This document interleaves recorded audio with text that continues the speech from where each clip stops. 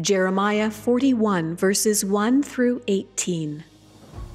Now it came to pass in the seventh month that Ishmael the son of Nethaniah, the son of Elishama, of the royal family, and of the officers of the king, came with ten men to Gedaliah the son of Ahikam at Mizpah. And there they ate bread together in Mizpah. Then Ishmael the son of Nethaniah and the ten men who were with him arose and struck Gedaliah the son of Ahikam, the son of Shaphan, with the sword, and killed him whom the king of Babylon had made governor over the land. Ishmael also struck down all the Jews who were with him, that is, with Gedaliah at Mizpah, and the Chaldeans who were found there, the men of war. And it happened on the second day after he had killed Gedaliah, when as yet no one knew it, that certain men came from Shechem, from Shiloh, and from Samaria, eighty men with their beards shaved and their clothes torn, having cut themselves with offerings and incense in their hand to bring them to the house of the Lord. Now Ishmael the son of Nethaniah went out from Mizpah to meet them, weeping as he went along.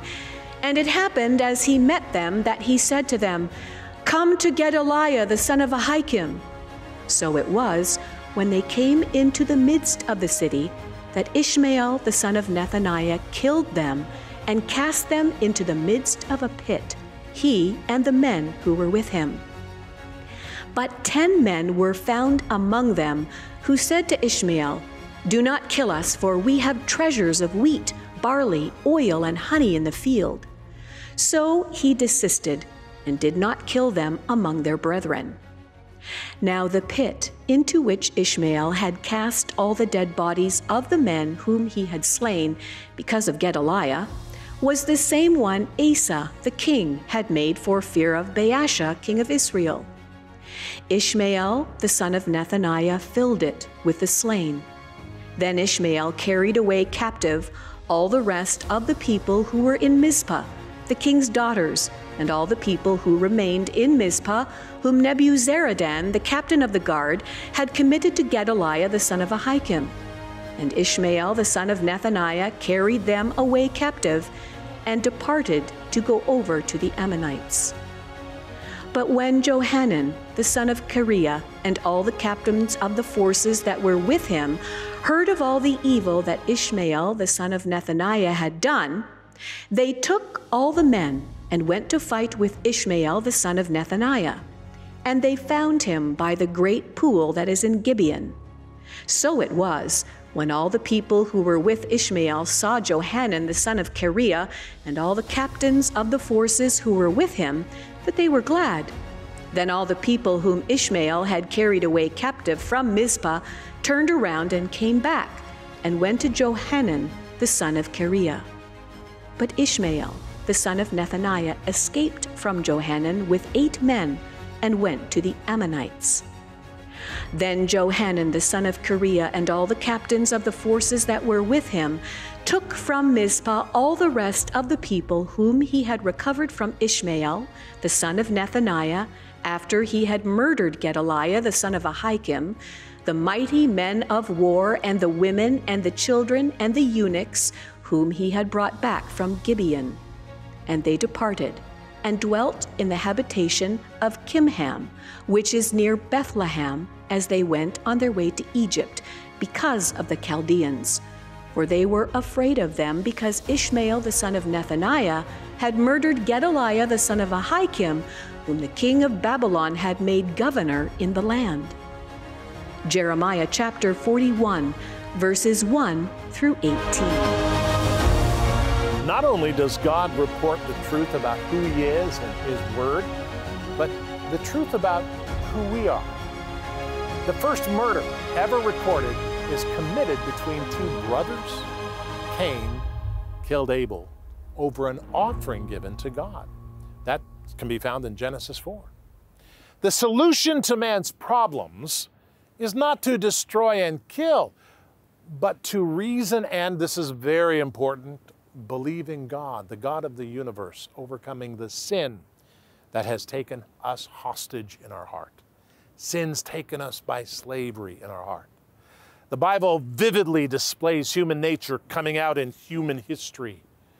This offends some who accuse it of being violent and bloody. It isn't always easy to look at our human evil. Thankfully, God's plan from before the beginning of time was that Jesus Christ would live a perfect life on earth, dying for our sins and setting up a, a right path for us to follow.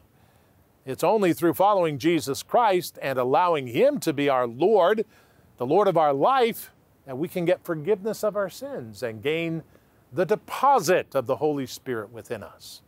When we make Jesus Christ the Lord of our life, we can overcome sin through Jesus Christ.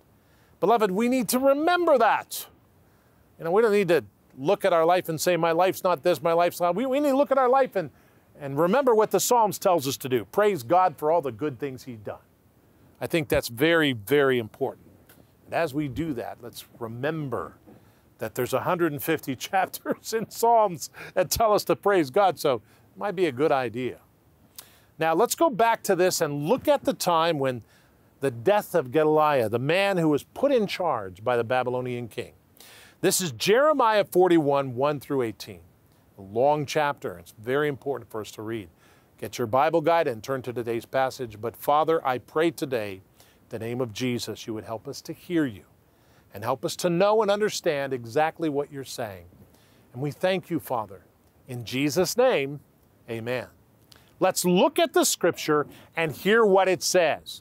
Jeremiah 41, 1 through 3. Here's what the Bible says. Now it came to pass in the seventh month that Ishmael, the son of Nethaniah, the son of Elishama, of the royal family and the officers of the king, came with ten men to Gedaliah, the son of Ahikam, at Mizpah.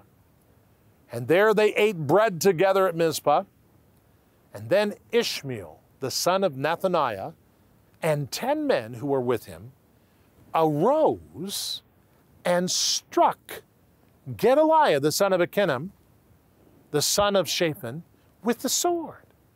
And they killed him, who the king of Babylon had made governor over the land. What a rebellion. That's amazing. Ishmael also struck down all the Jews who were with him, and that is with Gedaliah at Mizpah. And the Chaldeans or the Babylonians who were found there, the men of war. This is a violent rebellion, beloved. You see, God gave instructions to the king of Babylon about Gedaliah. He, he, he said, you know, make him king. Sometimes we may be challenged by God. We should follow God's lead. Many times we're challenged by the truth. We're challenged by the fact that God tells us the truth in His Word. And we strike it down, but don't strike it down. Listen to what the Lord says. Very important. Let's go back to the scripture and learn more. Watch this now. Jeremiah 41, verse 4 through 9. And it happened on the second day after he had killed Gedaliah, when as yet no one knew it, that certain men came from Shechem, from Shiloh, and from Samaria.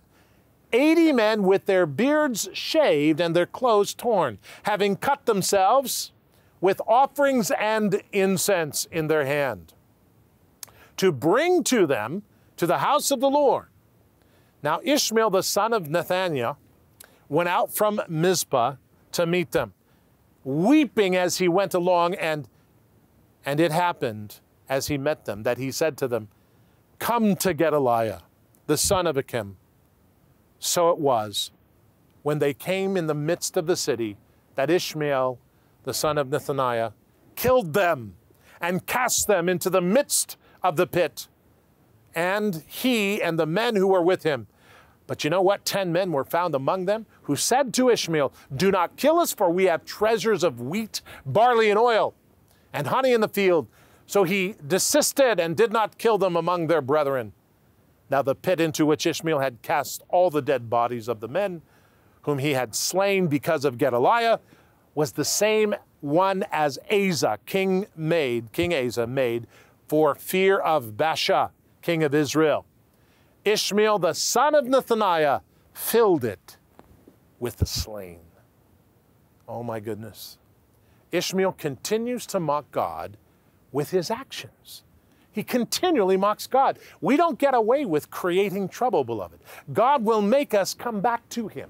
God will make us come back to it, the trouble that we caused. You know, you can't, you can't just make trouble all the time and get away with it.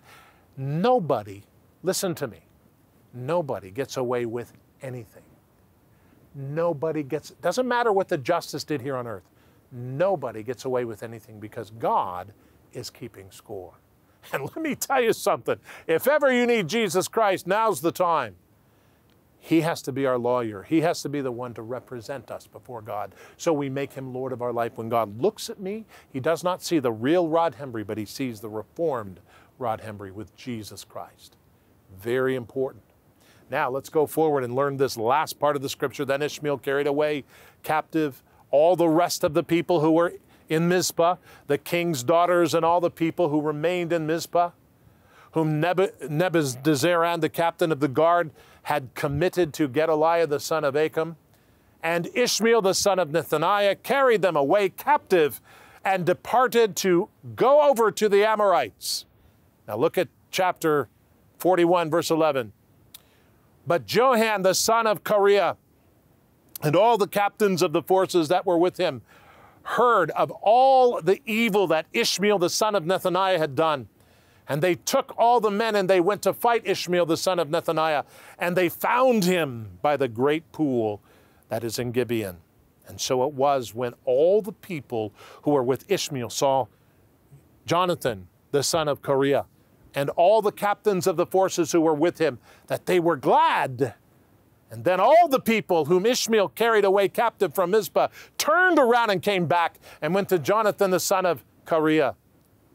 But Ishmael the son of Nethaniah escaped from Jonathan with eight men and went to the Amorites, Ammonites. And then Jonathan the son of Kareah and all of the captains of the forces that were with him took from Mizpah all the rest of the people whom he had recovered from Ishmael the son of Nethaniah after he had murdered Gedaliah the son of Ahikam, the mighty men of war and the women and all the children, and the eunuchs whom he had brought back from Gibeon. And they departed and dwelt in the habitation of Chimham, which is near Bethlehem, as they went on their way to Egypt because of the Chaldeans or the Babylonians, for they were afraid of them because Ishmael the son of Nethaniah had murdered Gedaliah the son of Ahikam, whom the king of Babylon had made governor in the land. This story is amazing, beloved. All of that to say this we do not get away with things we do against God. We do not get away with things we do against God. Our sin will find us out. We must confess our sins to the Lord God, Jesus Christ Almighty. Confess our sins. When Adam and Eve sinned, God came to them and said, Where are you? Who told you you were naked? Why? God knew all the answers to these questions. He was trying to get them to confess, beloved. What did Adam say? Well, he blamed his wife. What did the wife say? He blamed the serpent. You see, beloved, God wants us to confess to our sin, to make it right, and to say, Lord, I have sinned. I have sinned. And when we do that, I, something remarkable happens.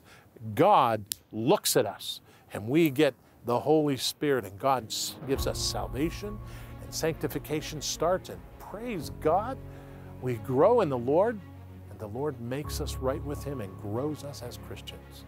Remember that.